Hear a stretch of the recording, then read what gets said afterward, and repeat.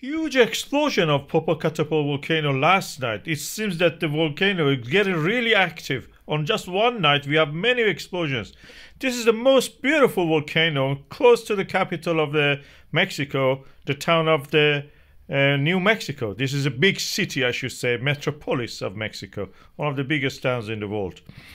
And this stratovolcano, which rises almost uh, six kilometers to the sky, the magma has to rise that amount and it's difficult.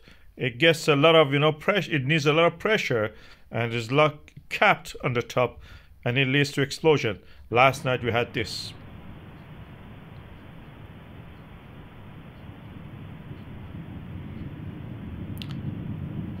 Which is not unusual in this volcano but for a while we didn't have that big one. Then again a few hours again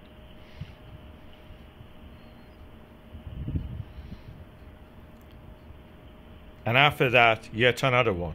You can see the Milky Way in the sky, by the way. That's Orion. And yet this one, again, it led to creation of a lot of ash and we picked them in the morning on the cars in New Mexico. That's, that's, that's sad in a way. That's amazing in another way. It causes a scratching. Also, if you breathe it, that causes breathing difficulty. It's very explosive. This was the uh, previous ones, uh, one of the previous, the most beautiful one.